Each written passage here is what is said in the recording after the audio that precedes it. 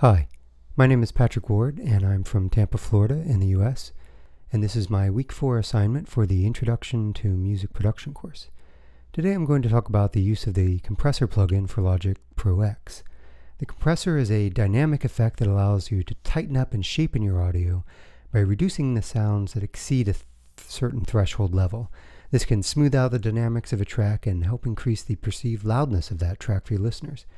For my example, I'm going to be working with a MIDI bass track that I've laid down for a piece of music that I'm working with.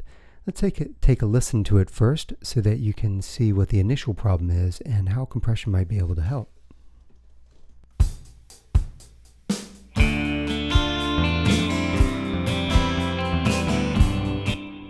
So as you can hear, the, uh, the bass track is a bit low and it doesn't really compete well with the other instruments such as the guitars and the drums. Um, I can try and increase the volume of it, and we can listen to it again.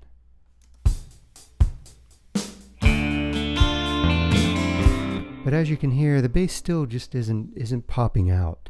And what we can do is we can apply some compression to that to allow it to uh, make that bass track really pop out and compete with the other instruments.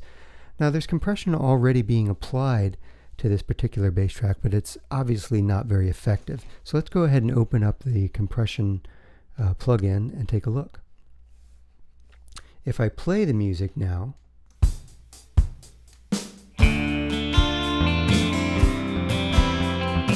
you can see that the compression isn't being applied because the threshold level is set too high. So I'm going to bring the threshold level down a little bit to about 29, 29.5.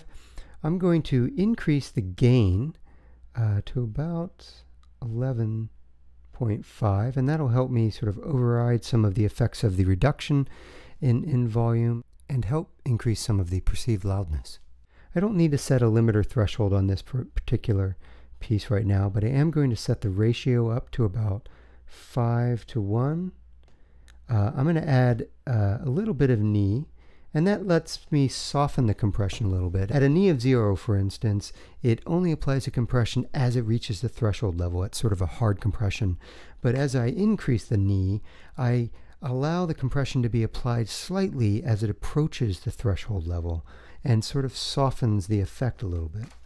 I am going to uh, increase the uh, milliseconds of the attack here because I, I want to uh, retain some of the transients um, as that, that MIDI bass track is being applied. And I'm going to reduce the release a little bit. So now that we've made a few choices, let's take a listen to the music now.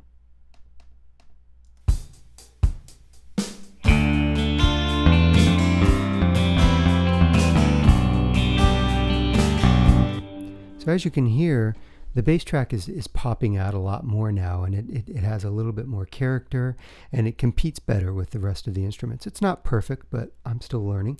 Uh, we can go back and listen to our original version by clicking this compare button. Let's listen to that.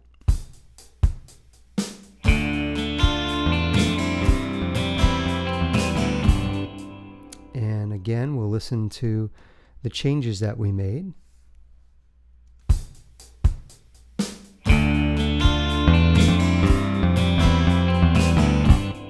So as you can hear, compression can be a really powerful tool for shaping the sounds within your mix.